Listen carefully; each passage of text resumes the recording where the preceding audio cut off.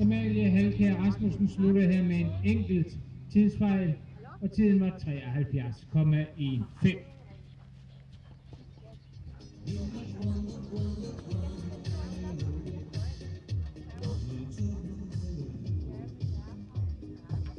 Og vi har nu fået Signe Top godt i gang, og efter Signe skal vi jo have banen gjort klar til kategori 2. Og der skal vi bede start nummer 4, Nicoline Marksen, og start nummer 5, Madeline Benson, om at komme på banen og holde klar. Og start nummer 6 og nummer 7 holder klar på skridtopvarmningen.